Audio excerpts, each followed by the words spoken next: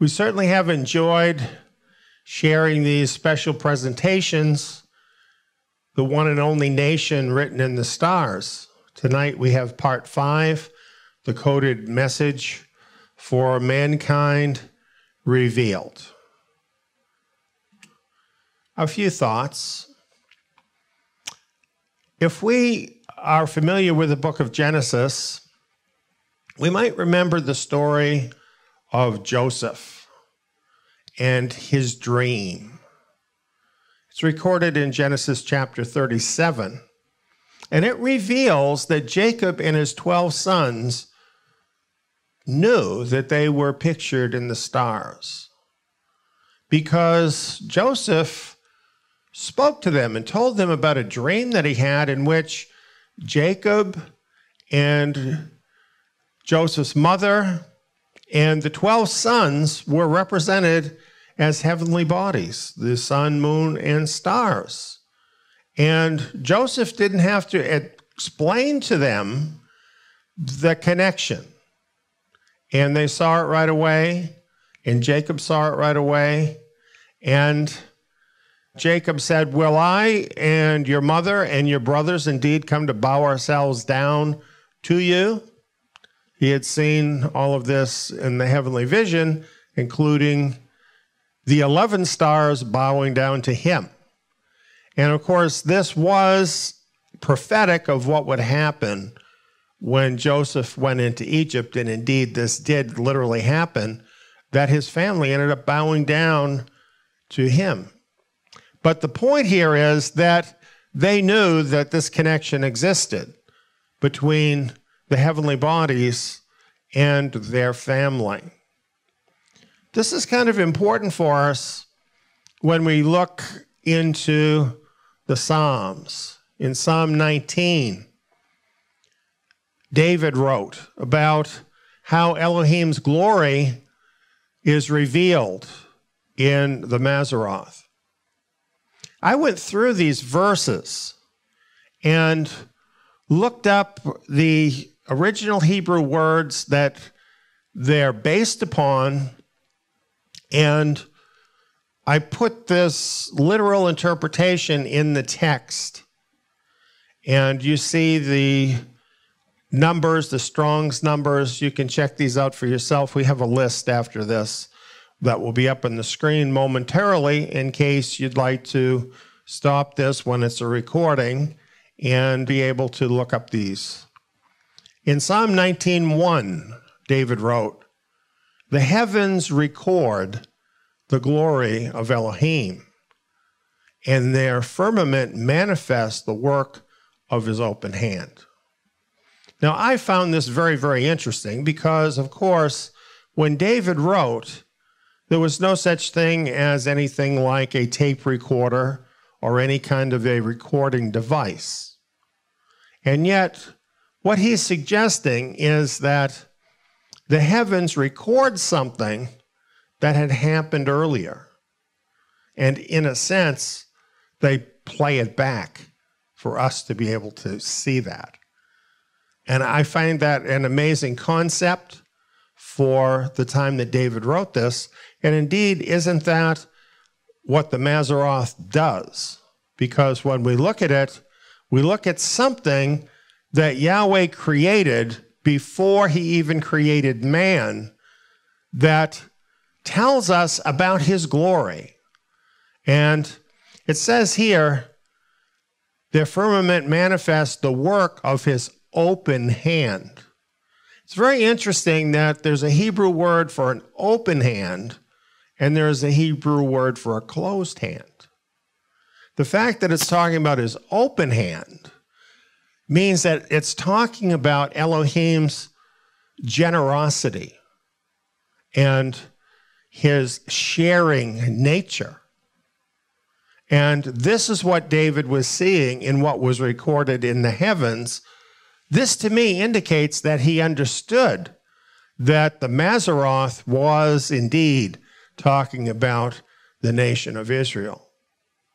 It goes on and says this day by day gushes forth answers, and night by night reveals intimate knowledge of Him. Nothing is spoken, no spoken words, they make no sound to be heard.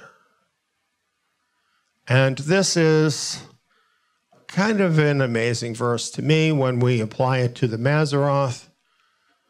The Mazzaroth is full of answers. As we've looked into the Mazzaroth in these videos, the Mazzaroth has not spoken to us. We didn't go outside and hear a voice from heaven telling us what all these things mean. And yet, has it not gushed forth answers to us? And has it not revealed an intimate knowledge of Him? Speaking there about relationship, has it not revealed a divine relationship between Yahweh and His nation? And done all of this without words. Next, it says, Their circumference appears to all the earth, and their continuation of segments to the extremity of the world.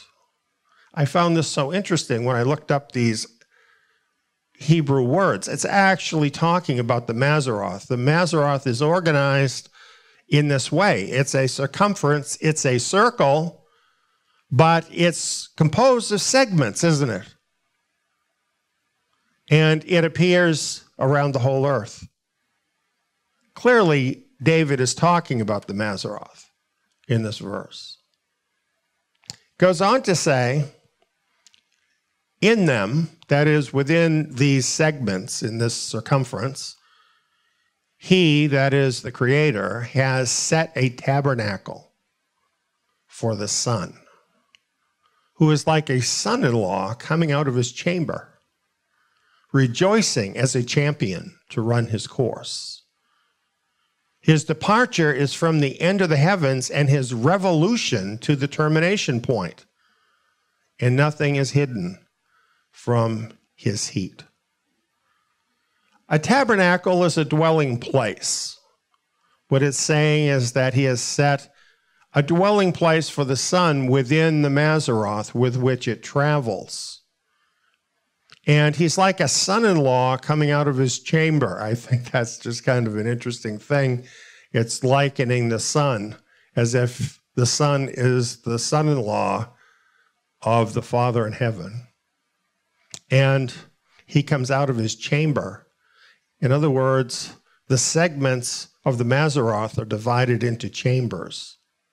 And the sun actually transverses through all of them in its circuit, in its revolution around the Mazzaroth.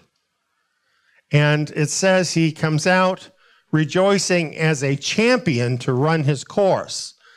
And I think that is so cool because if you've ever seen a champion athlete run a race around a course, he does not tire out.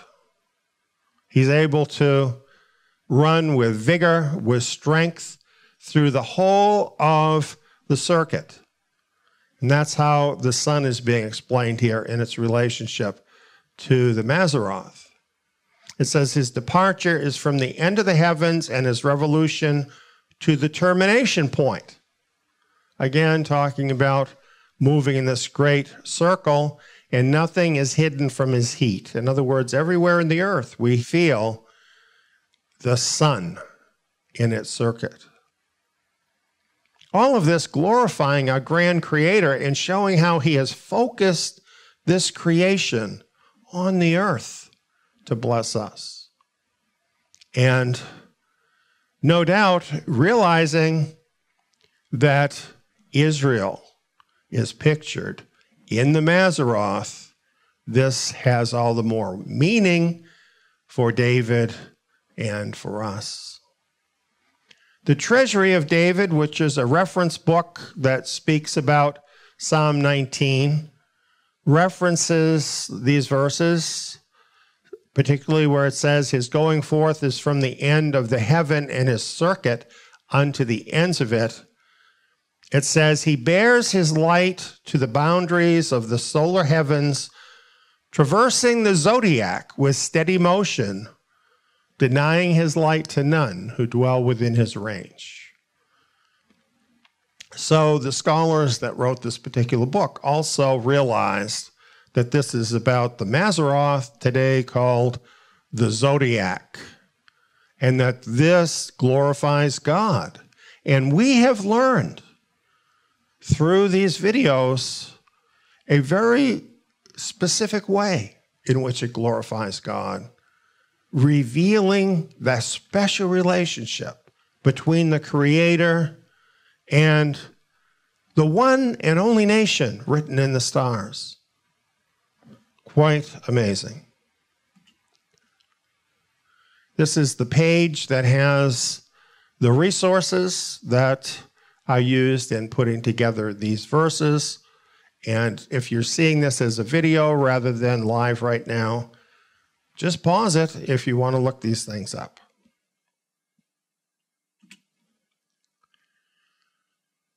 We have recorded a series of interviews for you tonight that are going to be included now in this presentation.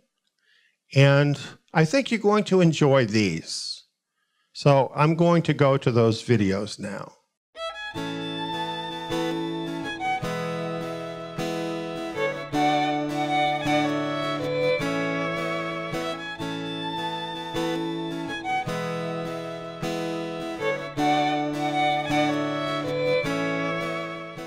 one thing in this uh, first video that we tried to deal with, because we are talking about signs in the heavens, and the sun, moon, and stars, uh, that immediately, a lot of times when you talk about such subjects, people say, oh, well, you shouldn't talk about that because that's astrology, and they link that to the occult.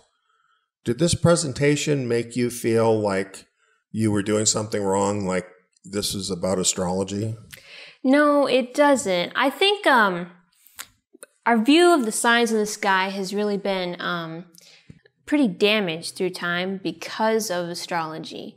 Because of astrology, um, we kind of tend to think of the signs in the sky as um, not really meaning much, mm-hmm. or we think of it as if you do place meaning, you're making something out of nothing. Right. And it's just like some kind of a superstition thing.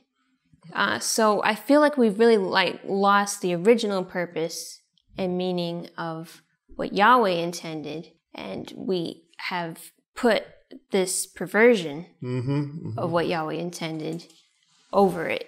Right. Yeah, that's what we're really trying to get to in this video is to get back to what Yahweh really intended and not how this has been misused. So uh, I, your your thoughts, I think, are um, could be very helpful to people.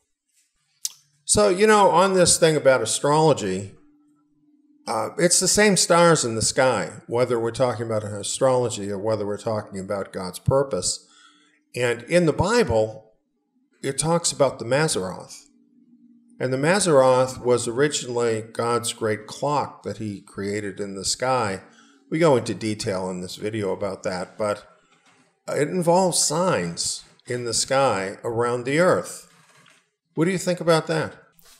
Well, I really like your point about how um, he calls them all by their names, and that uh, I think it's really important throughout this um, series to um, remember that the names and the associations that we have in our culture and that we're familiar with may not be the original names that Yahweh created them and designated them as being. I think people that have connected these signs to astrology, they look to these charts and stuff for horoscopes, but nobody stops to think about the design of all of this, that it's not really designed to give people a personal uh, forecast of their life. It's actually a clock. Right. It's pretty. It's a pretty amazing clock. Right. That Yahweh made. It works like a clock. What do you think of that? I think the way that God has this all laid out so organized so that the um, sun moves around the Mazzaroth, highlighting each constellation throughout the year and just like so precisely mm. moving together with the Mazzaroth. Um, certainly points to there being some kind of significance in these 12 divisions and um, makes you think that there has to be a message in it that Yahweh intended that isn't the same as this astrology for your personal life or some kind of a personality test in the sky. yeah, really. It's uh, it really is pretty amazing and I think as this whole uh, series has unfolded, we get to see that more and more how purposeful all of this is and that it really does reveal him, reveal him as our creator and that he is trying to show us something. Yeah, I have to agree with that. And it's also interesting how much of the timekeeping aspect of this great clock um, that we've been removed from. Mm-hmm. Because um, nowadays, whereas before you used to look up into the sky to tell the date or the time, mm-hmm. now you just look at the wall mm-hmm. and the calendar or your computer screen. Yes. We're so disconnected from um, this clock and um, all that Yahweh made it to be. Yes. That um, we really don't see as much of the message as we would, and we're much more disconnected from the significance of who Yahweh is. We're not reminded as much right. of God and His creation and His love for us and all the things that it would be telling mm. us to look up in the sky and see the times. And I think that um, makes it harder for us and more likely for us and easier for us to forget the times. Yeah. And to be more lackadaisical mm-hmm. about um, our spiritual lives and where we're at in God's timeline and His plan. Wow. I think that's really something to think about, especially for modern people. Yeah. You know, because we are so used to looking at the calendar on the wall, I think it's very easy for us to forget the calendar in the wall is based on the calendar in the sky. Yeah, it's really quite amazing to see how precise this clock is and um, how precise it is even after the thousands of years since the fall. Mm-hmm. That there's only a five day difference in the year. I, I think um, humanity would be hard pressed to create a mechanism that precise. You know, um, if you compare the ratio of minutes to hours on a slow moving clock, yes, uh, it's really much worse and a greater rate of decline. Yes. Than what we've experienced. Right. With just five days in a year, um, throughout the thousands of years since the fall of man. So true. And the evidence really is from the Bible, from other sources, that originally the year was exactly 360 days. Everything matched up perfectly. Uh, and the cycles of the moon matched up perfectly with that. And uh, it was just really a perfect clock. And then after the fall, eventually, we had the condition, like you say. But even so, that is amazing that it's still so close. I really have appreciated these thoughts you have. Any uh, final thoughts on this particular uh, part one? It's really just encouraging as we come to the end um, to see uh, how we do have this new heaven and earth to look forward to that will be restored to the perfect version that it originally was. And um, the solution to this problem of sin corrupting everything. Yes. And um, that there is a nation that's part of that plan. And it really makes you want to be a part of it. And um, it makes me want to learn more about it and to see um, more and more what my part is mm. in that nation and God's plan. That's awesome, Abigail. We really appreciate your thoughts about this today. Dawn, I know you're proud of your daughter and uh, the wonderful thoughts she had. Absolutely. I know you had some observations too about this first video.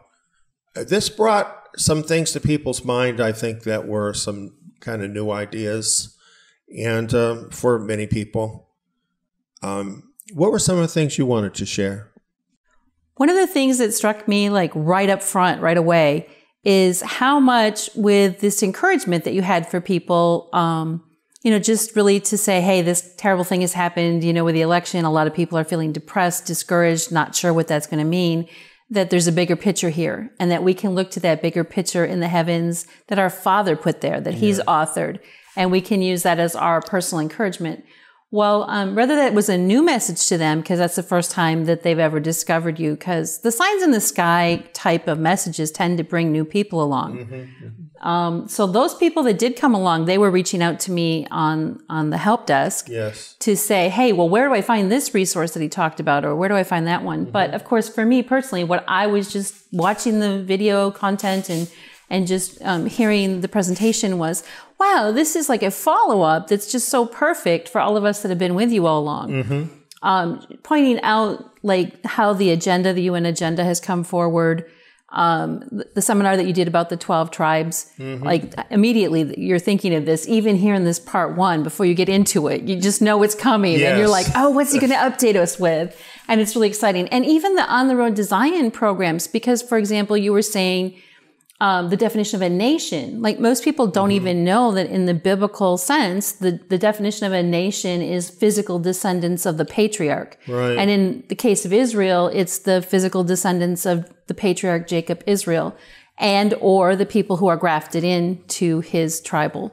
Right. Um, and so when you bring that teaching from the past forward into this presentation, it's a much richer experience.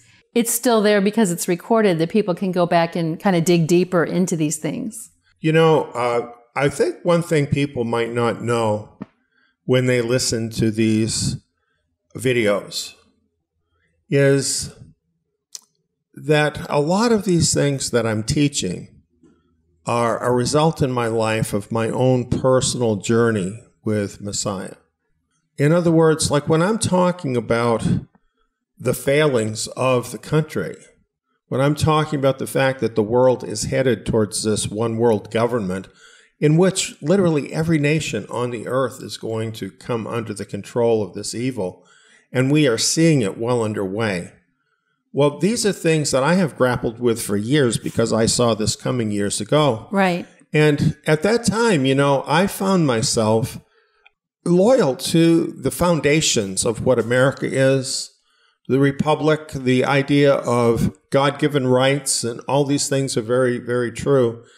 But Yahweh drew me towards his nation. Right. And he taught me what a nation is that it's being a descendant of a common ancestor.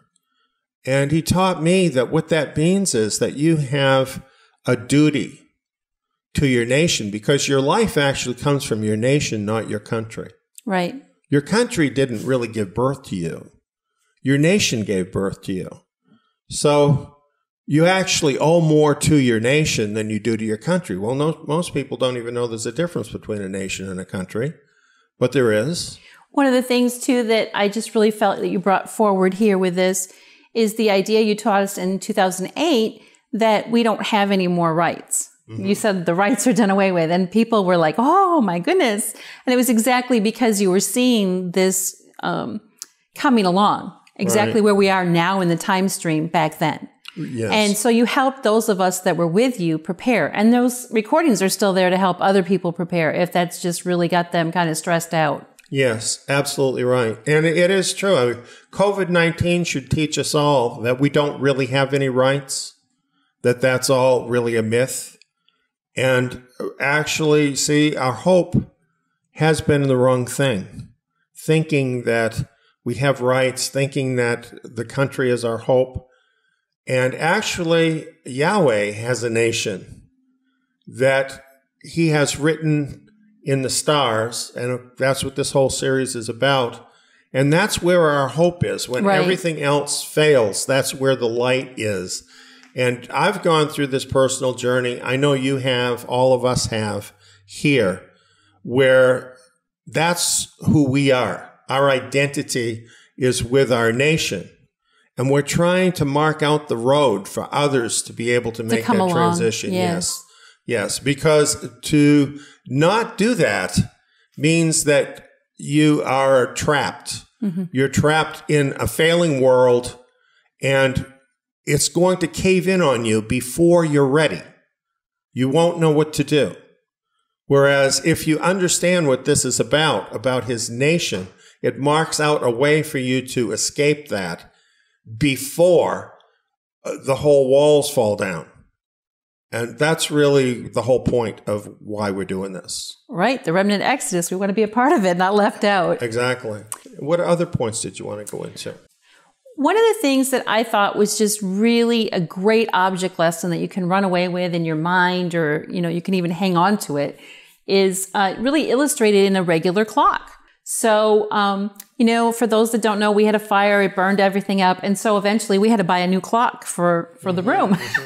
and I have a nice round clock, like a lot of people might have on their wall, and it takes one battery. And I get that battery and I put it in there and it'll run for an entire year. And every year, right at the end of the Hebrew year, it fails. it starts to, is, Yeah. the, the second hand won't go around. And I always forget that, oh yeah, it's time to change that battery. Mm-hmm, mm-hmm. Well, if you've had that experience, you can really translate it to what you were saying about the perfection of his creation. That it was 360 days, that it was 12 segments that it was broken down into, and that uh, it was exactly a 30 day month. Well, now it's a little mm-hmm, bit mm-hmm. off, but it's pretty close to that, but it's a mm-hmm, little off. And now it's 365 days, not 360 days. Well, I'm getting a little older. I'm not as young as I used to be. And I kind of feel sometimes like my battery's winding down a little bit. I know it's going to get worse. I know. but you know, it's, it, when you can connect with it on that level, you understand what you're seeing. Yes. And I have seen people come to faith and actually stumble over this very issue. Mm-hmm, mm-hmm. And so I was very pleased to be able to share this presentation with them. That this is exactly why the clock is a little off. And then you have all this cultural documentation mm-hmm, that's extra biblical, but really does show that these people understood this, that, you know, while they did get off and they mm-hmm, did mm-hmm. go into the astrology and some of the pagan practices that are wrong and are sin, um, they did understand that the clock was 360 days. They have all kinds of records of that. So it verifies the scripture. Right, right. And that's just phenomenal. I mean, mm-hmm. that historical fact alone could bring someone to faith if they really understood Yes. these and, and meditated on it. Wow. Yeah, that's really so true. All his work is perfect. And it's man that has damaged his creation. I think this is what we don't realize that he made this perfect universe and then we came in and kicked it over. Right. And we were very rude. Right. He made all of this for us. He made this beautiful universe for us, beautiful home for us. He made us perfect. And then we decided to come in and kick it over and ruin it. And how would any of us feel about that? Not good. And and the other thing that really just strikes me about that is to walk away from close fellowship with him. Yes. And really to get back to these things is to walk back into close fellowship with him. And that's really what's being offered. We don't have to stay on the outside. exactly.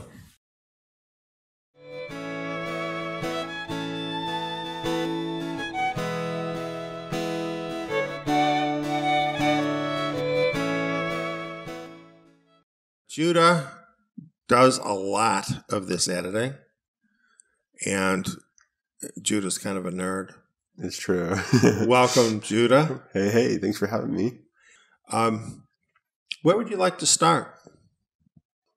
I guess where I wanted to start was these signs that are in the sky. Yes. And um, in that video, you talked about the zodiac Mm-hmm. and how it's actually a feature of astronomy. Right. Um, there's a separation between people using it for a reference point in the heavens and uh, people who use it for divination and you know Right. telling their future. Um, there's a great dividing line between the two of them, and a lot of the original signs are preserved in the zodiac. That's right. We learned about that and how how we can find out some of these Mazzaroth signs uh, and what they were just by looking at the zodiac. Um, That's right. Well, you know, here's something that I thought was interesting. Um, looking at the idea of is there any connection between the zodiac and the Israel of the Bible? yes. Um, is there any? Uh, as it turns out, yes. a perfect match. Yeah. And that was what was so amazing working on it with you is going through each one, you know, putting it all in there, all the slides and stuff, uh, but going through each one and seeing how well it really did match, Yeah. you know? It must have been kind of fun when I would give you uh, my graphics and stuff like that, and you'd see it for the first time. yes, yes. And uh, so you were kind of learning it before everybody else. it's true. It's very true. Well, let's look at some of those that we learned about.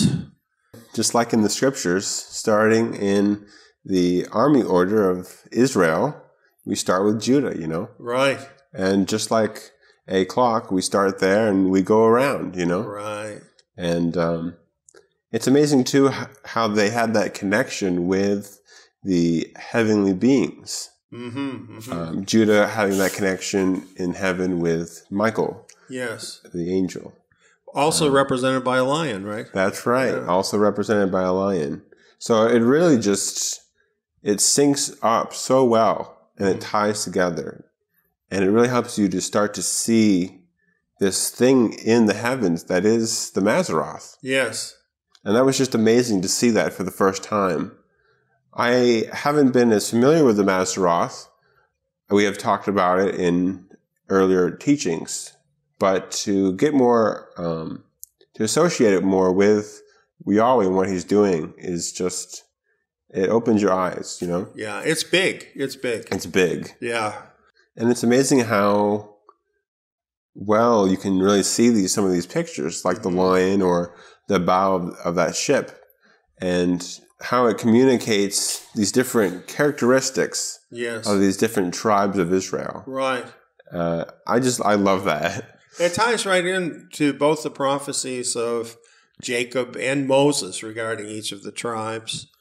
When looking at these Mazzaroth signs, they were almost prophetic of these brothers of um, that became Israel. You know what I'm saying? Yes. and the characteristics that these people had match the Mazzaroth sign so well. Right. Here we see, you know, you have these two brothers, and we found out the history behind that, how that's actually how it was. You had, you know, you had Zebulun coming in in the sea to bring the goods, and then you would have Issachar, like it says here, is a strong donkey, you Uh-huh. know, carrying the goods throughout the land. Yes. And the teamwork there that was prophesied just through the star alone. Exactly. Yeah, and you're right. It's pro- it's really a prophecy written in the stars.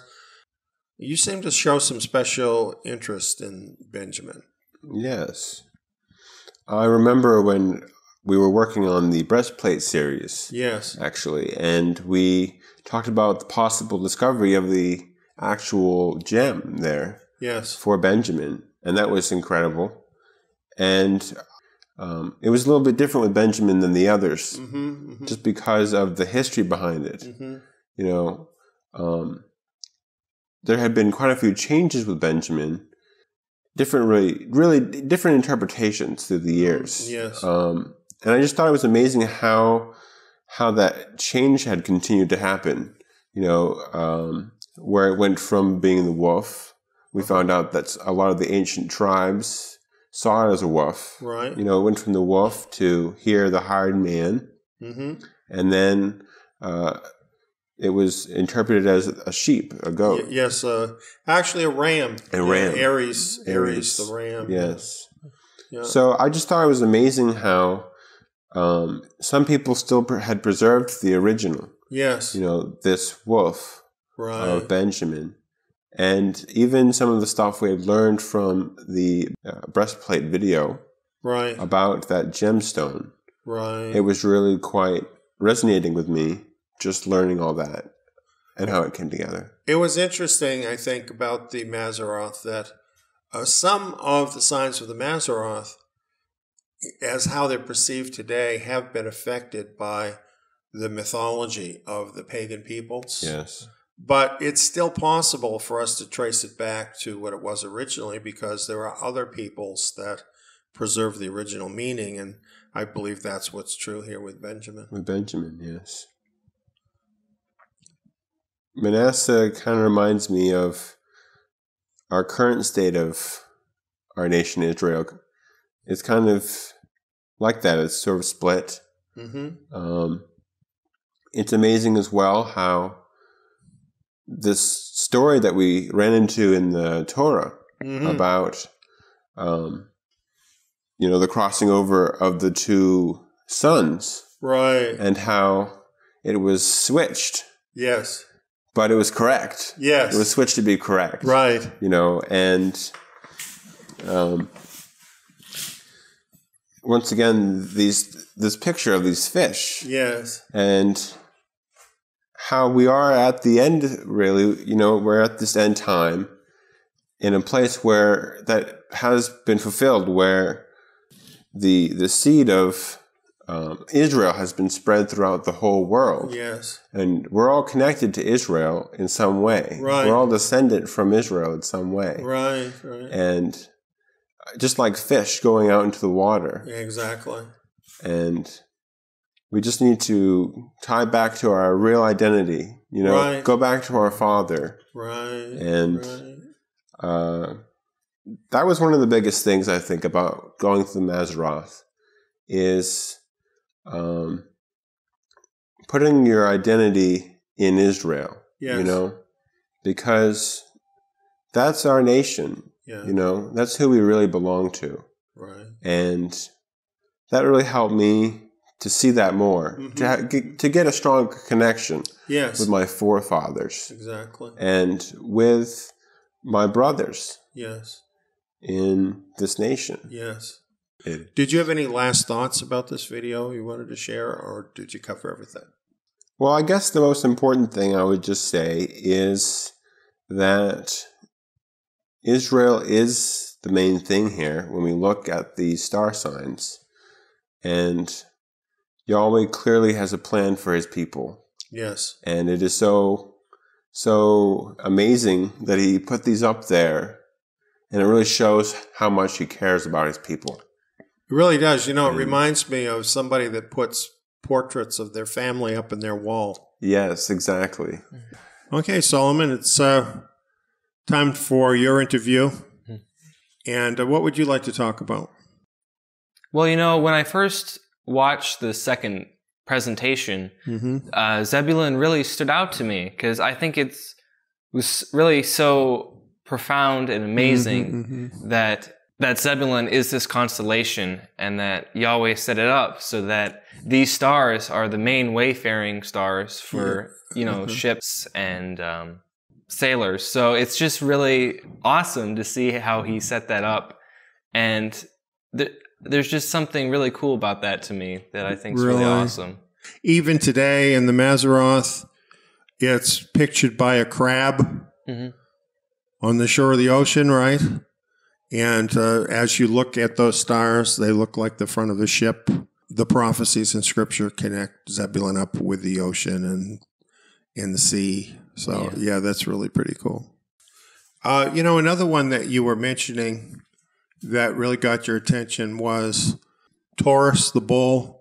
Um, yeah, well, I just think it's really interesting because Joseph was really kind of like a bull charging the front, and you know he really set up um, a lot of things in Egypt and onward that Mhm, would mhm. really uh, shape the nation of Israel. Yes. So you know he really was charging like a bull, hmm uh, pushing forward the Mhm. goals of uh, Israel. Right, right. That's very true. Pretty amazing. You know, we're only four uh, constellations in, and it's already so beautiful to see that Yahweh created these stars and these constellations, and He put them up as a testimony to the covenant with Abraham, Isaac, and Jacob. Exactly. You know, before we were even created, right. and that is really just such a beautiful thing that he did to immortalize the covenant before we even existed. Yes. You know, it's just so amazing. Really, really. Well, you know, and this is our theme, right? Is uh, the one and only nation written in the stars. That has to be of incredible significance. And it's exactly what you're talking about. It's about the covenant.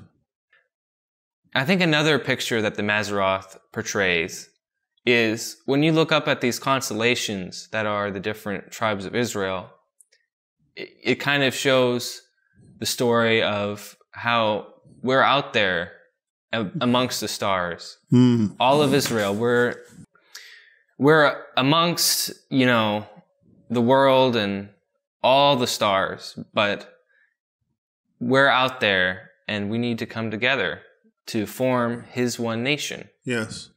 And, you know, I think the Mazzaroth is really there to be a picture of what we should be Mm. and, you know, what we should uh, look to. Yes, I, I like that a lot.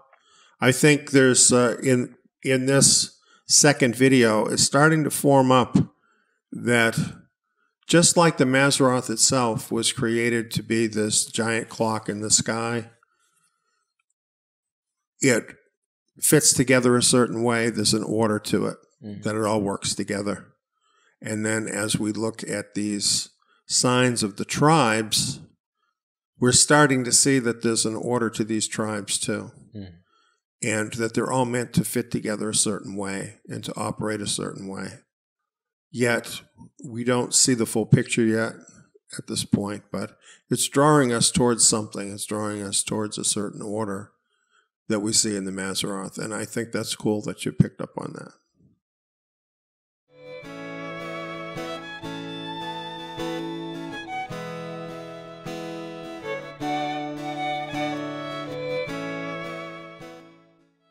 Sherry, tell us some of the things about this particular video that uh, got your attention. Well, this is the third part of the series. Mm-hmm. So um, it's been uh, really neat to look at um, the tribes, not just from the stones, now that it has the Mazzaroth with these signs with the stars, and they're matching up.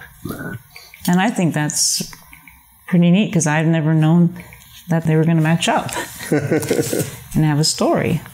Yeah, and it is kind of an interesting story. And in this particular video, we're doing the second six out of the 12 signs of the Mazzaroth. Yes. And we've already completed the first half.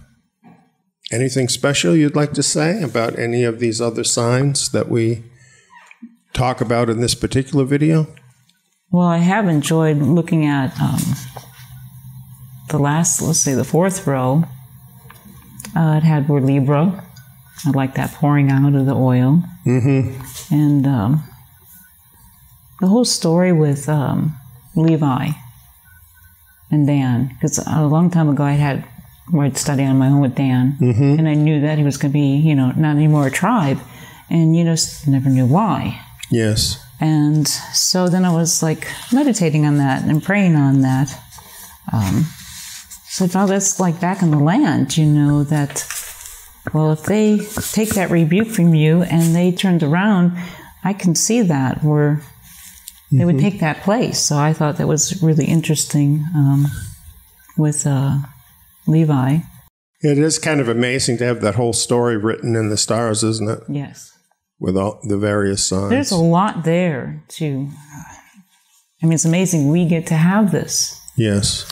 That Yahweh lets this be revealed because I know as a young one I used to like going to the planetarium and looking at the stars. Right. And you knew in the scriptures he made them knew by name, called them by name, and that they actually um, represented. I, I used to like Orion the the belt, which that's not in the series here, but Yes. just saying that you know you just never knew enough. Right. So now, as a, a remnant, I find this fascinating with Yah- um, Yahweh showing that this has a real divine, um, it- like it, like you said, it's a timekeeping device. Yes. the Mazzaroth. So um, back with Libra and um, Virgo, Yes. I love that.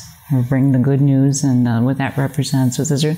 So I, I just, I love the whole thing. Awesome. Awesome. Uh, did you have any uh, final thoughts? I noticed you have a lot of notes. Was there anything on there you wanted to bring in?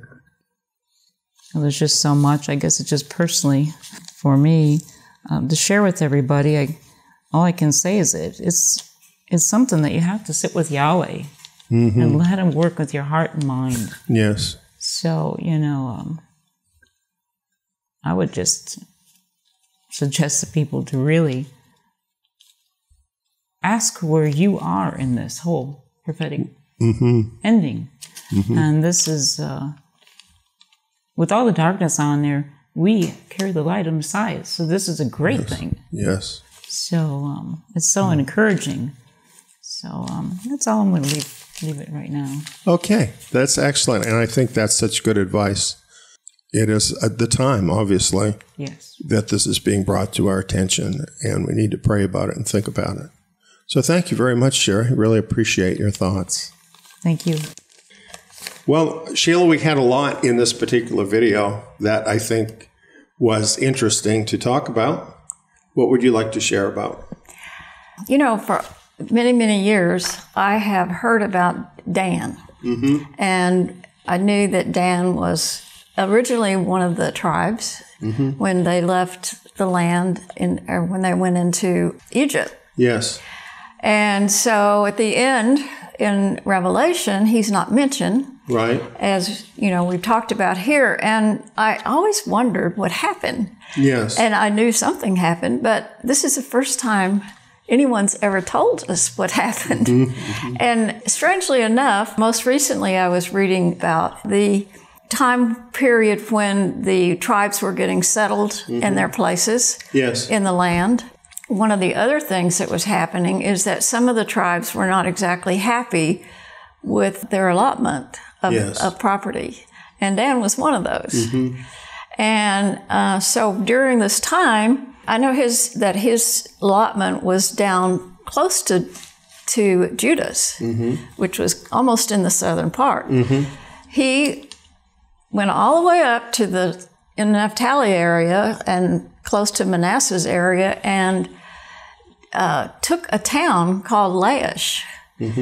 Um, now it's called Dan Yes. or it was, you know, when Jeroboam took over the 10 tribes in the north and set up the golden calves that they were to worship up there and not come back down to Jerusalem. One of those was put in Dan. Yes. And most likely it was put up there in, La- mm-hmm. in Laish, in the very, very northern part, Right. Uh-huh. so that they wouldn't have to travel so far Right. to come to Samaria. Mm-hmm. So it, to me, that was just a perfect example of Dan, Yes. the snake, Right. you know. Mm-hmm. And so his particular documentary on this war that was going on Yes. Was just fascinating to me. And then, of course, the fact that this has Yeshua pictured as stamping on the uh, scorpions and the snake. Mm-hmm. Mm-hmm. And then, of course, the eagle coming in. Mm-hmm. And the other thing that Dan did, of course, was he set up his own people as priest. Yes, he did. And so the Levites left town. They all moved to the south Right. to join Judah. Right. And of course, this was a really dramatic thing that happened because he was trampling on Yahweh's turf. Exactly. You know, nowadays, uh, I think people don't fully understand the seriousness of Yahweh's order and particularly covenants that he makes. Exactly. And he made a covenant with Levi Exactly. that Levi would not only be the priests, but they would be scattered throughout the various territories, be teachers of the Torah, and so on. And Dan, with impunity, simply replaced Levi with priests who had no covenant. That's right. Yeah. It reminds me that this sort of thing happens today. Yes, it does. People take on uh, positions a- as teachers, as pastors, who have no anointing to be that, who have not been called to be that, and displace people who have been. Right. So this is still an issue. It and is. I believe this is an important story because it tells us there are dire consequences for doing that. That's right. Because Dan is no more at the end of the age. That's right. Yeah, and uh, so that's really serious. yeah, it's, it's very serious. Yes, Yeah. it is. And it's uh, so interesting, I think, with this. It's, it's such a detailed story that's written in the stars with this particular constellation. right. Yeah. It's just fascinating to me the whole picture of all of this being in the stars from the very beginning of time. yes. As when we were created, before we were created, before the world was created, and everything else. And, and he wrote all this. And you know, he doesn't change. Right. He did change this, Mm-hmm. exactly Dan did it, Right. because it was part of his Torah that says, you know, if you displace somebody or if you do something with someone, then they're going to displace you. Exactly. And that's what happened. That is what happened. And he keeps his word. That's true. And I think we find these things in this story. It's not that he made them happen, No, he didn't. but he foresees what is going to happen. Uh, right. And it reminds us that our choices have consequences. Exactly. And even if you're one of the sons of Israel, one of the sons of Jacob, if you make bad decisions, you're going to end up having bad consequences. Right. And the fact that this very concept is written into the stars, I think, That's pretty significant. yes, it reminds us, I think, here in these last days, if we want to be part of his remnant that returns home in the second Exodus, we have to make the right choices Right. for that to happen. That's right. Uh, did you have anything else you wanted to share? Oh, just that it's so wonderful to see this because our Father it doesn't change. He he he remains the same. Um, it shows us, you know, why Israel is important to him from the very beginning, before Israel ever became, Yes. because uh, he knew that the seventy nations were going to reject him, and he knew that he would choose uh, the people, Abraham, Isaac, and Jacob, to because they he already knew that they were going to be faithful to him. Yes. Israel hasn't always been faithful. In fact, it moves back and forth so fast it can make your head spin. Yes, indeed. But uh, it's it is still his nation, Right. and so he's always got a faithful remnant. Yes. And uh, we just pray that that remnant is going to show up really soon. Yes. Yes, indeed. And we know they are out there, don't That's we? right. We know they're there. Yes. We just know that they need to find us. Right. You know, Paul reminds us in Romans chapter 11 that Yahweh always keeps a remnant of Israel Right. for himself. Yeah. Well, thank you, Sheila. That was really excellent thoughts. Oh, thank you.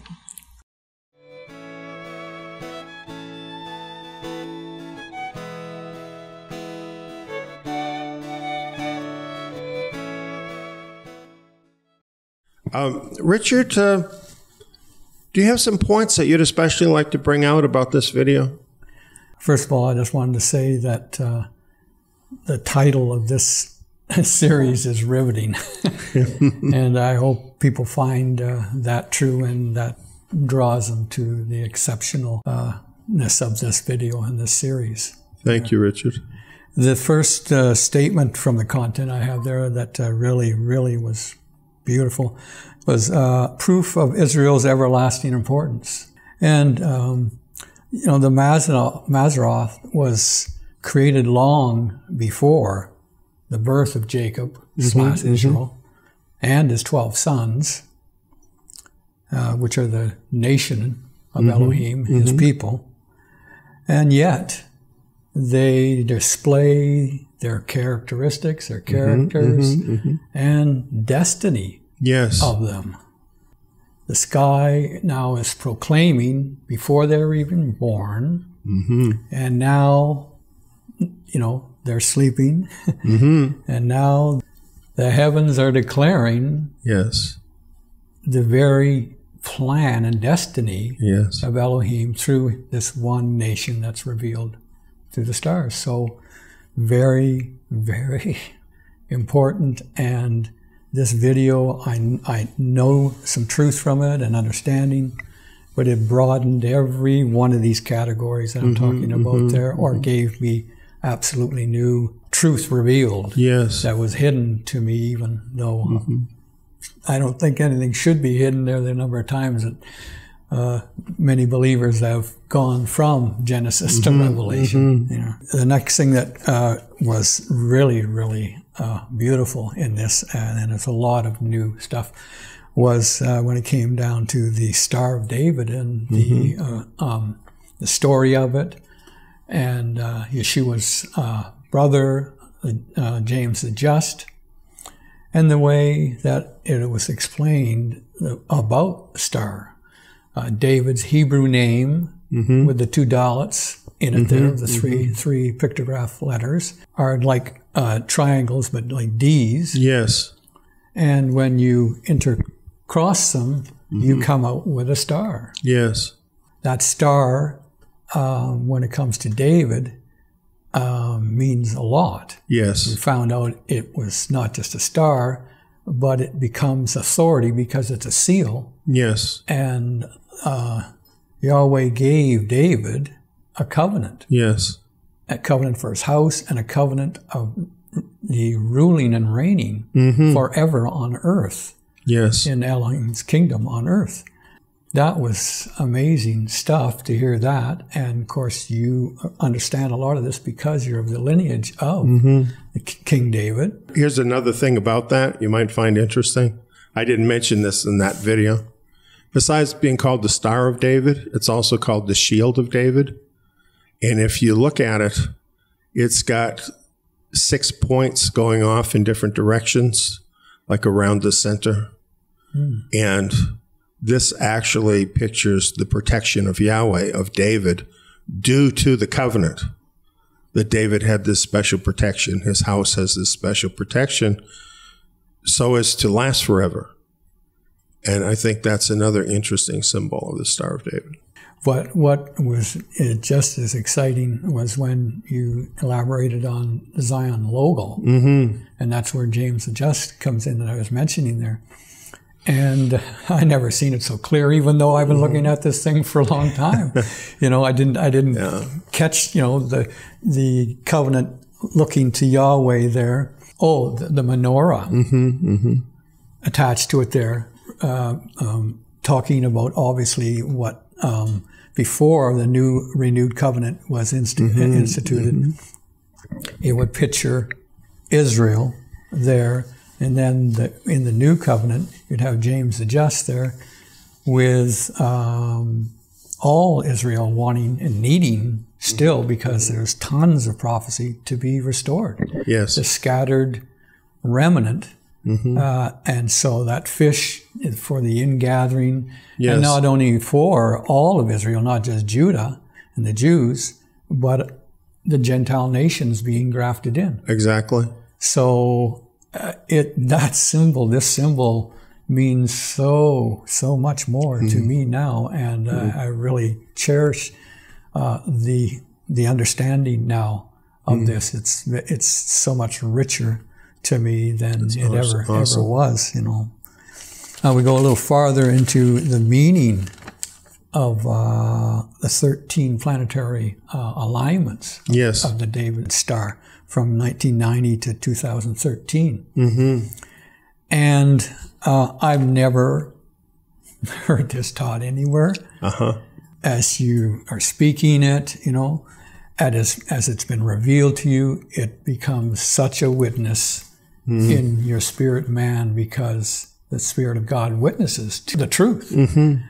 Mm-hmm. Well, when you see these signs, no, he is not for God of Israel. He's going to regather the scattered remnant. Yes, that's right. He's going to rebuild the government and all that will come into these ones that are supposed to share this light to the ends of the earth will be proclaiming this everlasting gospel, which when he came, he came to his own, it said at mm-hmm, his mm-hmm. birth. So now Israel is going to be able to fulfill its destiny. And these signs are telling us now it's going to happen. Yes. Now this is what he's doing. Yes. But everything in this series is showing us what's prophesied and what must come to pass because he says all these things will have to come to pass in this last generation Right, also right. In, uh, in his gospel of Yeshua. Uh, I have just a brief testimony that I've written for 30 years. I've been searching for this truth. Well, If, uh, if I could read that. do. Please do. I've been deeply desiring to know something biblically sound about my part and purpose as a believer living in the last generation, which will see the return of Jesus Christ the Lord. At some times over the previous 30 years, I thought I was walking uh, in this biblically sound doctrine and way of the disciple of Jesus. Six years ago, the scriptures were opened up to me profoundly by the inspiration of God's Spirit. I was enabled to read God's word outside of my own intellect and the intellect of my pastors and teachers online or otherwise. A gift of understanding or my eyes being opened was the only way I can explain that. Fast forward now to 2020, so that's a number of years that I've been in in this reading the word with my eyes opened, you know. Uh, there has been a, a paradigm shift of biblical understanding and doctrine. It's just wondrous. Uh, but this was only being uh, a foundation was only being uh, laid laid down, and it still had to be built on that. And this doesn't happen overnight. Right. It, it, We are so short sighted. We have so much to deal with. I was denouncing many truths and doctrines of the Christian charismatic evangelic circles that uh, I had been in for 25 years or so, and seeing more of the overarching picture and program of Elohim's grand plan laid out from Genesis to Revelation. Like it doesn't, wasn't a scripture here, a scripture there, a piecemeal here, a piecemeal there.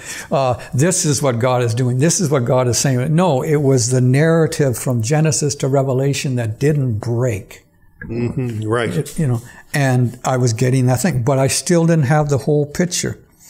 Uh, so, uh, as I say here, so you can see uh, uh, what I mean by a wondrous biblical transformation, but still not getting how the assembly of Elohim was going to come through the great darkness and the destruction of the last generation.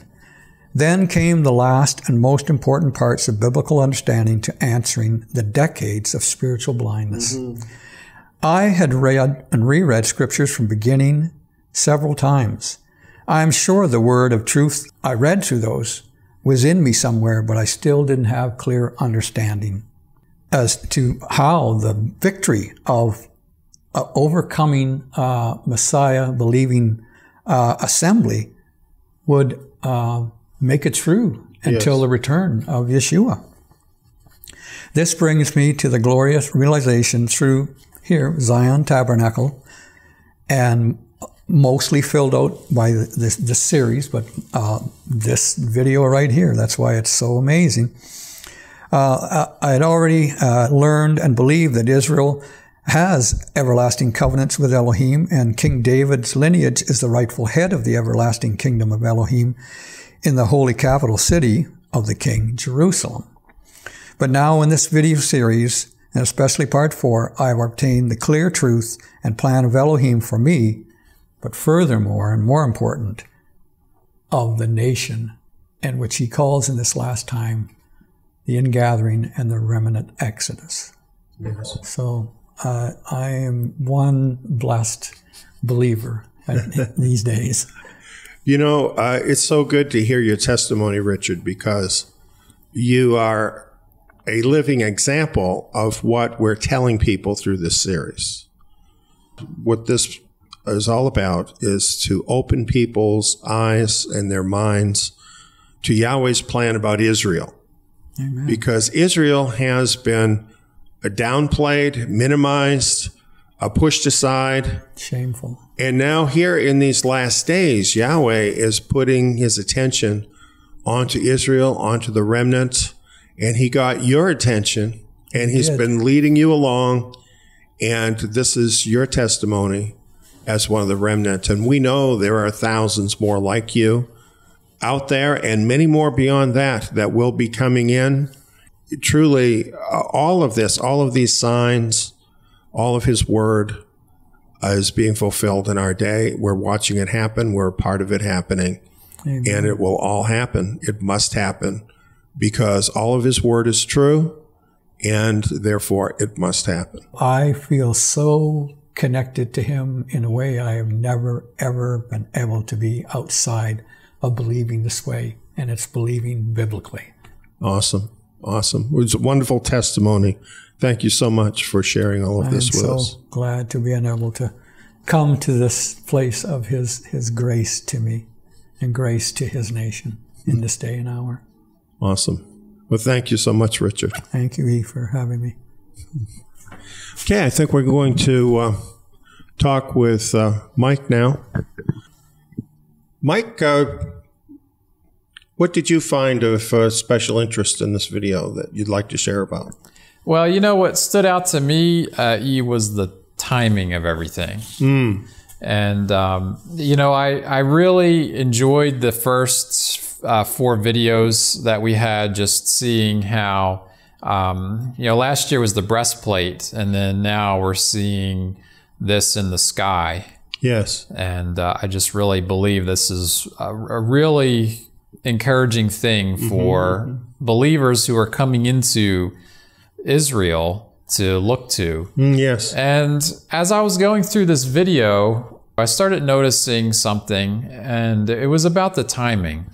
And y- skipping the history that you talked about in the video about Israel uh, and then their liberation and then the Six Day War, moving on from there, going back to the Star of David planetary alignments Yes. starting in 1990 and then moving up to the 13th one in um, 2014.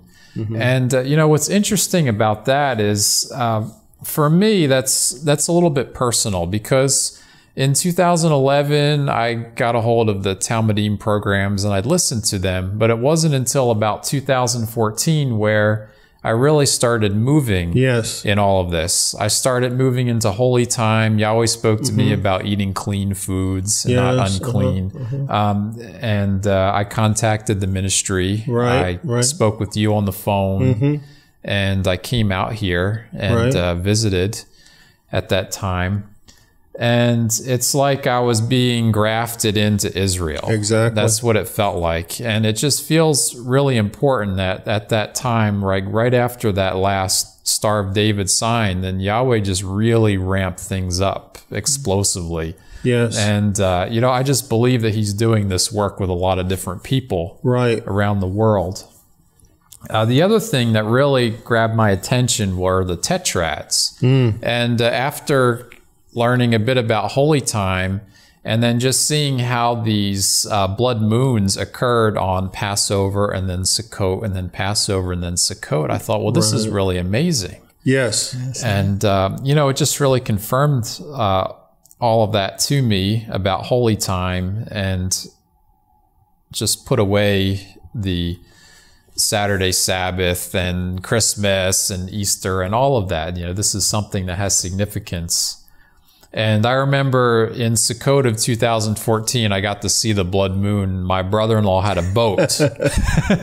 and we went sailing out onto the ocean. Oh, wow. And uh, I stayed up and I got to see it. And it was pretty cool. Awesome. I've really never seen a lunar eclipse before, and that was the first time. Wow. And just wow. uh, experiencing that on Sukkot, that was uh, really an amazing thing. wow, that's awesome. You know, uh, Richard, I liked what you were saying about the um, messianic seal. Um, I thought you gave a really good explanation of that. It really makes me feel like I'm a part of Yeah. the covenant, just looking at that. Right. You know, understanding that Messiah in the center, the king of the Davidic covenant, the the king of Israel, joining Israel and the nations together. Yes. And then just seeing that um, Yahweh preserved these artifacts for us from the first century that we could actually see. You know, this is the understanding that the early believers had. This is uh, what they what they lived. Right, absolutely. And you know, when you realize that these artifacts were actually used by Yeshua's brother, Yeah. James the Just, who, of course, was continuing on the house of David in the midst of that assembly. You can imagine the meaning that it had to them. Right. It's it's truly amazing for sure. Yes. You know, it definitely makes me feel more connected to the believers of the first century. Right. And uh, I mean, that's really what, from the years I've been here, that's really what we're about here. We're not about a, um, just like a regular Hebrew roots movement or uh, Right. Messianic Jews. You know, we're not about the rabbinics. We're about restoring the scriptures, restoring what was lost during the first century. Exactly. And I did a little bit of extracurricular research. Awesome. And uh, I've been a Christian for many years. And the Christians have a symbol. It's called the ichthys fish. I believe I'm uh-huh. saying that right. Uh-huh. And it looks like it's part of that messianic symbol, mm-hmm. the bottom part. And when I did a little bit of research about it, uh, what I found out was it was very similar to a fish that was used by the pagans during that time. Yes. Um, interestingly, the fish in the messianic seal represents the nations. Now, the way I kind of see this is they separated themselves from Israel, and they divorced by what by them doing that just symbolizes how they divorced themselves from the Davidic covenant and from Israel because they you know, some people may say, well, it's just a symbol. Well, you know, it has meaning and it's documented that that was used to the, as for the Christians in the second century. As a whole, the Christian church really does live in a manner that is divorced from the Davidic covenant and Israel. Um, they say that uh, Israel's done away with. Um, they've adopted the pagan practices of the nations and uh, you know an attitude and belief most of the churches they really don't live as if they are grafted into israel Right. so i just feel like their symbol is very analogous to what has actually happened that they've divorced themselves from the, the covenant You know, uh, we have documented this historically. We have videos about this, how the Gentiles, the Gentile uh, Christians in the second century literally did divorce themselves from Israel. And if you read in the church fathers, starting with Justin forward, right it's in there over and over again that they have divorced themselves from Israel. And so, in a way, when you look at the Messianic seal, uh, Christianity as uh, a concept, as a uh, a movement, isn't represented really there because it has divorced itself from Israel. Whereas in the Messianic seal, that's what you see. You see the people from the nations that have put faith in Messiah are put together by means of the Messianic seal with Israel so that they form one nation. And Right. of course, that's what we've been looking at here when we look at the tribes. right And even with the New Jerusalem, I think uh, everybody who's a believer, whether a Christian or whether a Messianic, they all want to be in the New Jerusalem. right And yet, when we look at the New Jerusalem in Revelation, everybody has to enter through a gate with one of the names of one of the tribes of Israel on it. Right, and that's really what uh, what you're trying to get at with this video is people are need to find their place. Right. You know, we're not condemning anyone in the Christian church or anything. You know, I was a Roman Catholic. I mean, that's about as Christian as you can get. So, uh, I mean, I can't talk bad about anybody really. Right. And we're So, talking about Christianity as, um, as, in a sense, a culture. It's not a matter of condemning people. We're not doing that. right. In fact, the reason that we're sharing all of this is because we love our Christian brothers and sisters, but we want them to know that there's a real movement of God that is happening now. There's revelation coming from heaven Amen. Right. to show us a different way than uh, what has happened. And the thing about uh, Christendom, we'll call it Christendom, the system of Christianity, it failed. It failed. And we see it crumbling all around us. It can't fulfill the purpose of Yahweh. Only the 12 tribes of Israel can do that. Right. Yes. Uh, can we look at the Messiah star? Oh, I'd love yeah, to. let's bring that up. That's what's next on my page. So. I'd love to talk about the Messiah star with you. You know, I, I'm so glad that you brought up the Messiah star yeah. because when you came to Zion in 2014, you had this gigantic telescope Right. in tow. And I saw that and I saw you unloading this gigantic telescope. and I'm thinking, wow, what is Yahweh going to do with that?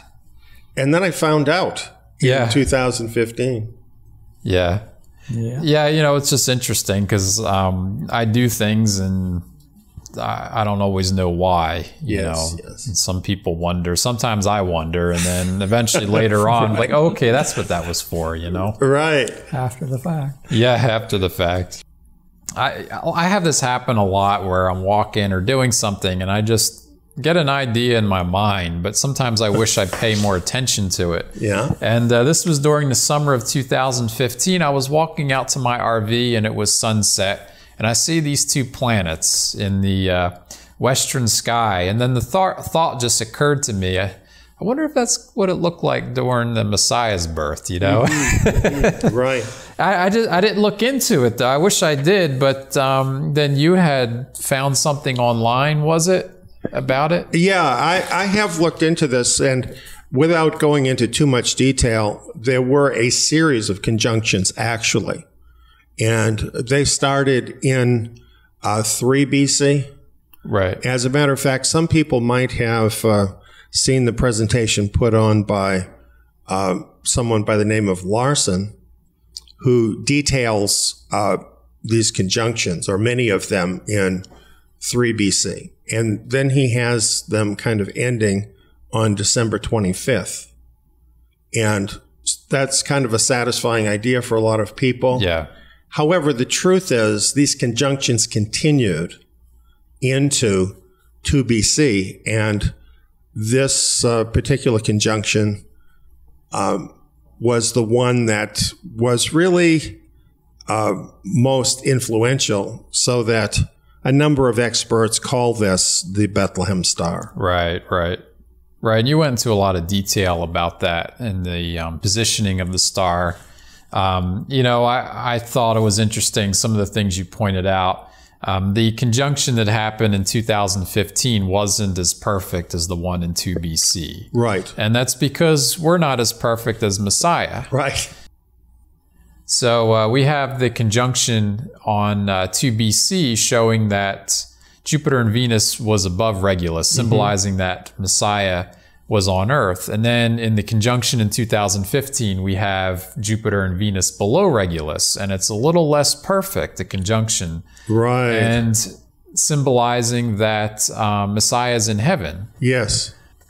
I really thought it was interesting when you pointed out about, well, the light coming into the world. While hmm. in the first century, 2 BC, we had Messiah coming into the world. Right. And so now we have a new light coming into the mm-hmm. world. Mm-hmm.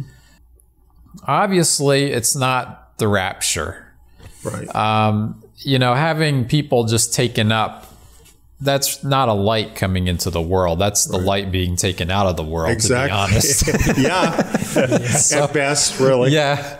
So, uh, and plus, there's a lot of things that have to happen before Yes. um, that happens. So, obviously, this this wasn't talking about the rapture, but in light of everything that's been happening with Israel, and in light of the planetary alignments that we've been seeing and the tetrads, the uh, Messiah star being right in the middle of the tetrads. Um, and then now we have this revelation of the breastplate come out, and then the tribes of Israel written in the sky, in the stars. It's really clear that um, you know this light is the restored nation of Israel, Yes. um, being born into the world.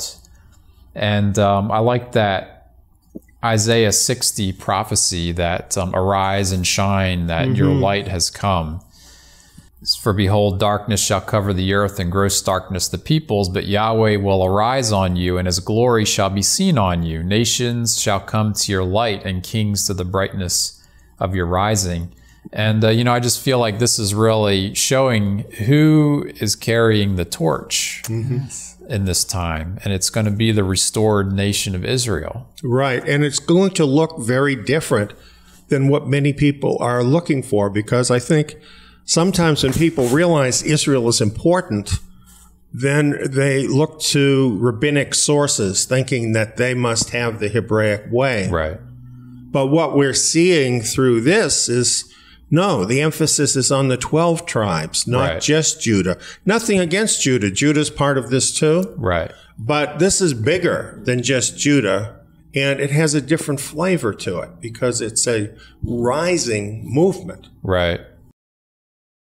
You know, and a couple of other things I wanted to point out. Um, you had mentioned about darkness. And I think now it's more obvious than it was then about darkness being Right. over the earth. I mean, with everything that's happening with the elections, and we can see total social upheaval. Um, and, you know, America just being taken over. Clearly, all of this fulfills this prophecy in Isaiah 60, including this literal fulfillment of the light that it's come Right. and it was heralding all of this. And in 2015, uh, when the Messiah Star happened, in that same year, we had the Beasts of Daniel surfacing seminar. Right. And we pointed out that all this was about to happen Right. because of the rise of globalism. And now we're seeing what that really means. And I think everybody can understand that. Everybody that's wearing a mask right now, people who have lost their jobs, people who have lost their businesses, people who can't go to church are being forbidden. People have lost their freedoms. Uh, I think it's time to wake up and see that we are in the midst of a great darkness. And this was a true prophecy, and mm-hmm. Yahweh is making a way, but it's not the way that so many people want. Right. A lot of people, what they want is they want to have America back the way it was. They want to see the Christian church triumph. Right. And this is not Yahweh's plan. This isn't what's going to happen. Right.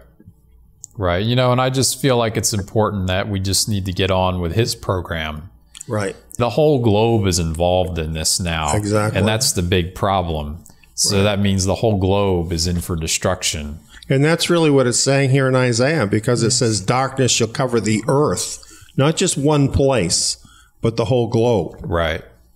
Do you have anything else? Uh, no, E, I think that about covers everything that I have to share. Well, I'm telling you, that was awesome.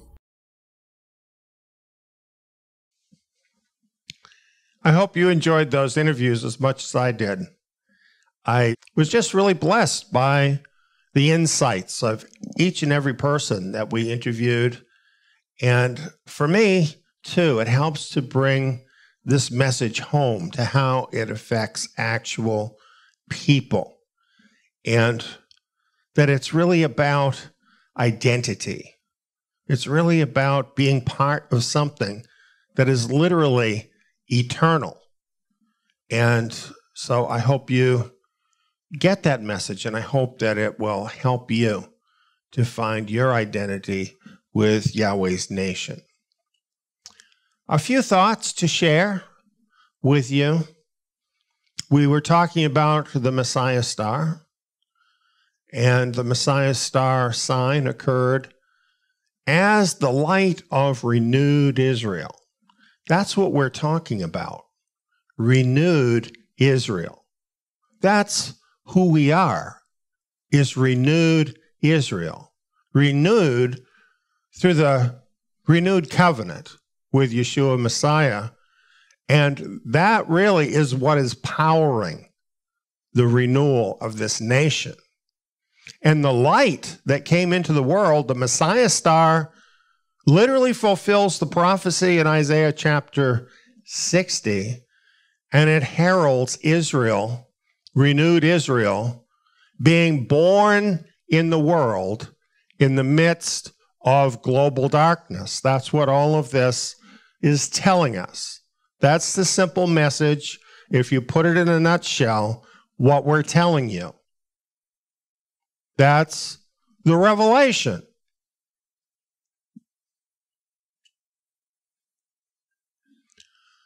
The prophecy of Isaiah 60 is unfolding. You know, if you are of renewed Israel, you might not have knowledge of this in your head, but something happens in your heart when you read these verses, when you see these signs having to do with Israel, when you hear the words, Arise, shine, for your light has come, and the glory of Yahweh is risen on you. And then when you read, For behold, darkness shall cover the earth, and gross darkness the peoples. Can't you identify with that?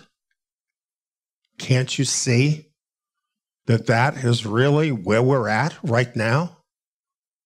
A growing darkness encompassing the entire globe. Can't you feel it all around you? Can't you feel it restricting you?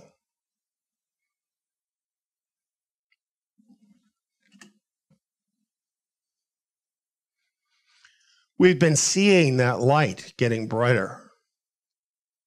The breastplate tribes are now revealed. We've come to know so much more about the tribes of Israel through the breastplate tribes. Where do you fit in on that breastplate? Do you even know about this? If you don't know about this, come and find out.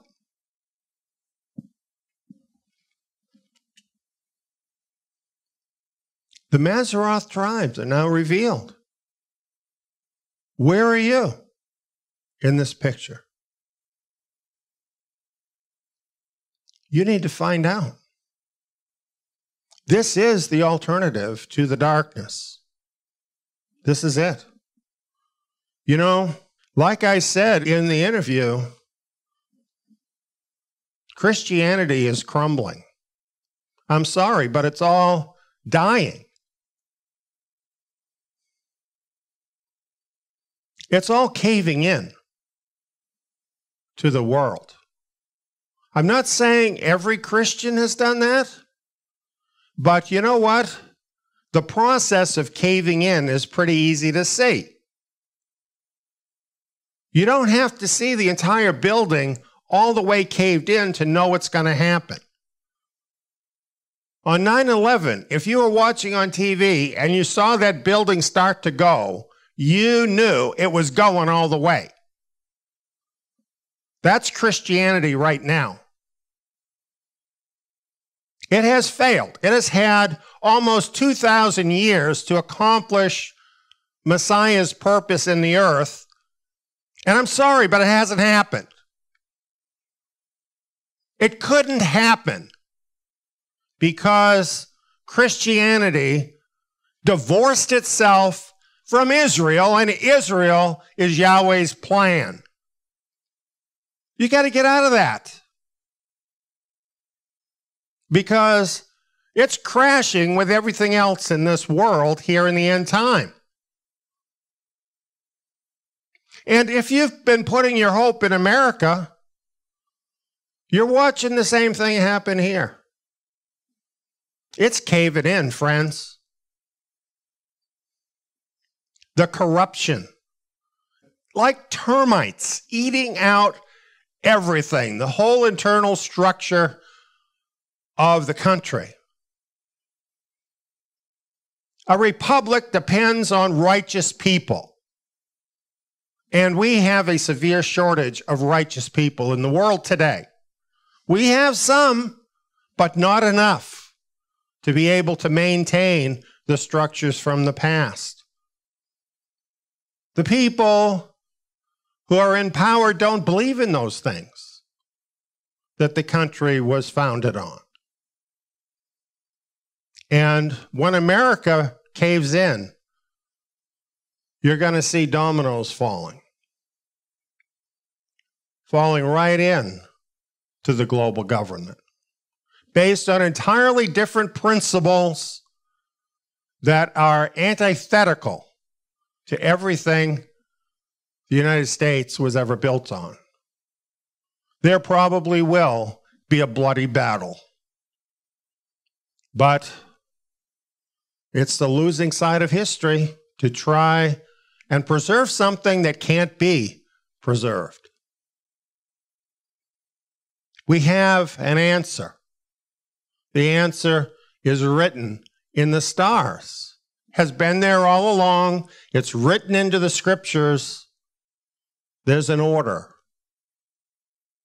there is a place. The place, the order, is revealed in the tribes of Israel. A paradigm shift is what you need. It's all here. That's all got to change the way you think, the way you look at the scriptures, the way you understand what your relationship is to other believers, to the world.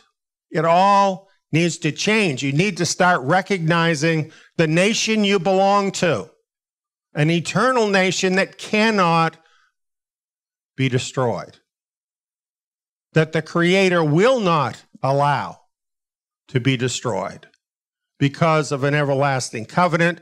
And here in these final days, this is the time that Israel finally, after all of our struggles and all of our failures, we're coming back. We're coming back. Our light has shone. The darkness of this world cannot stop us, and we are going to overcome in the midst of the darkness. Israel is going to rise up, just like that eagle in that picture, to a whole new life, to be the place of light in the midst of the darkness, a light to shine the way through this difficult time to the coming of Yeshua Messiah. Now is the time. Now is the time to get on board with that. If you wait too long, it's going to be a big mistake. Just like this whole COVID thing, it'll catch you off guard. You will be confused. You will not know what to do. And even if you have faith, it's going to be a lot harder for you than it would have been if you had just heeded this message and taken up the right path. We're here for you. We've been at this a long time because we've seen this coming. We have the answers. Lots of answers. Come and get them.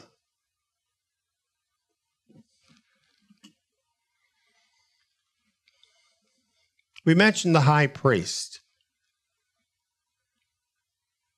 The Aaronic high priest wore the breastplate tribes on his heart. These, of course, picture the tribes of Israel in all their variety and character. But as with everything else having to do with that order of worship in Israel, this is all after a pattern. This is all after the pattern of heavenly things.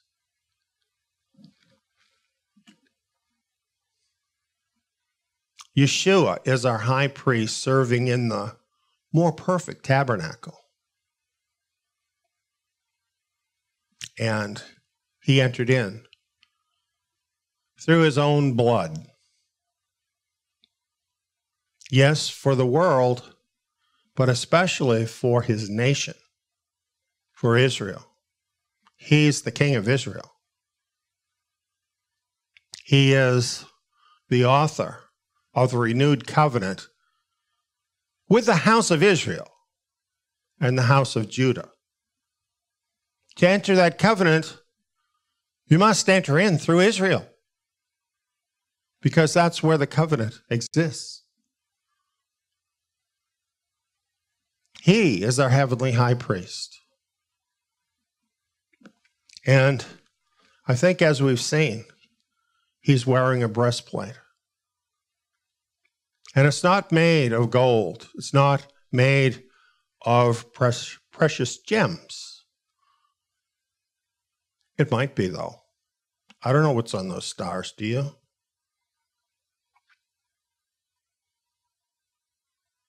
It's far more glorious a breastplate than was ever worn by the Aaronic priests. It's something that only Yahweh himself could construct and did construct. And he put it there, and it has been on his heart ever since. We're there. Close to his heart. Do you understand that?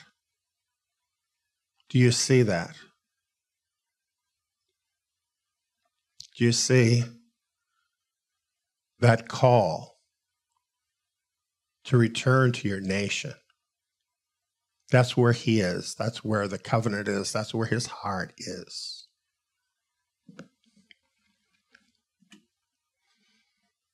In Deuteronomy chapter 7, this is explained to Israel. You are a set apart people to Yahweh, your Elohim. Yahweh, your Elohim, has chosen you to be a people for himself, a treasured possession above all the people on the face of the earth. Because of Yahweh loving you, and because of him guarding the oath which he swore to your fathers. Did all that suddenly go away because Yeshua Messiah came? The oath to Abraham, Isaac, and Jacob doesn't matter anymore? Should we just take some kind of a cosmic marker and scribble out the signs of the zodiac, of the Mazzaroth, of the tribes of Israel? Do you believe that could possibly be true?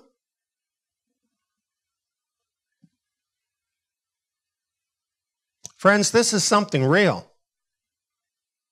And this is being revealed to you now so that you can intimately know, like David, what the Mazzaroth is saying to you and where you belong and who you are. Find your place in his nation. Be part of renewed Israel. That's who I am, by the way. I'm not a Christian. I'm a renewed Israelite. Come and be one too. You want to read about renewed Israelites? Read Revelation 7. 144,000 renewed Israelites sealed out of the 12 tribes of Israel, out of every tribe. They're the leaders of renewed Israel, seen in the Revelation vision. And where did that come from? All the prophets. We go into this in great detail in all this material that we have available for you at Tsiyon.net. Lots and lots and lots of stuff. If you want to understand about this, we've got it. Come and get it. Is it going to take work? Well, I don't know. What do you want to spend your time doing? Do you like bowling? How about watching TV? Or do you care about your eternal future? This isn't like the Christian church. We don't say to people, okay, say this little prayer and now everything's all taken care of. If you're an Israelite, you have responsibilities to your nation. You have responsibilities under the covenant to Yeshua Messiah, your king. And you need to learn about those and you need to walk those out.